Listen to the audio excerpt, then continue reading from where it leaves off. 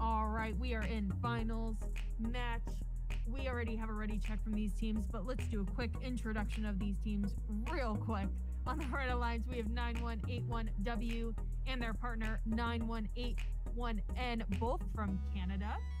And then on the Blue Alliance, we have Team 1469A Eagle Bots joining us from California and their partner Hurricane Robotics joining us from North Carolina. We have received ready checks from both all of our teams here tonight. We're gonna get this match started with autonomous in three, two, one, and go. All right, this is gonna be a very, very close matchup, especially when it comes to autonomous. A lot of these robots doing similar actions. Looks like just their Eaglebot scoring a home row there. Looks like their partner Hurricane Robotics doing the same.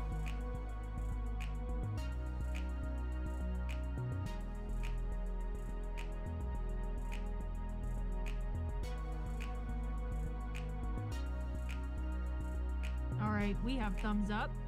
We have thumbs up. Looks like our Blue Alliance taking the autonomous win here for us with a score of 87 points. We are going to go ahead into driver control in five, four, three, two, one, and go. All right, we're going to start off with our Red Alliance here, both heading towards goal G. And then making their way up our team Baba Booey heading over to goal B, scoring a blue game object there. On the other on the other alliance, our blue alliance, we have Team Eaglebots trying to get it looks like a fourth game object into goal G. And their partner Hurricane Robotics scoring three blue game objects into goal E as they make their way around the field seeing what other game objects they can get with a minute left of this match. Eaglebot scoring their th- three blue game objects into goal E as well. Teams 9181W heading over to goal I.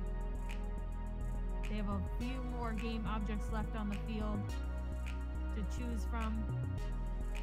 Baba Booey scoring looks like trying to grab an extra blue game object and head them back over to goal B to get those four game objects into that goal.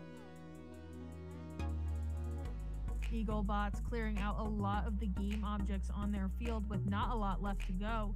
Looks like they're going to take a game object from goal F and then move it on over to goal E.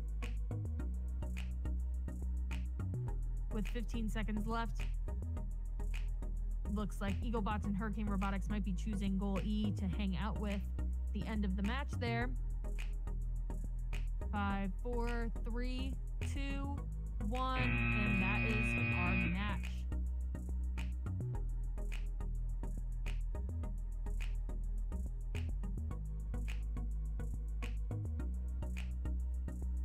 match. All right, our head referees doing another double check of this score.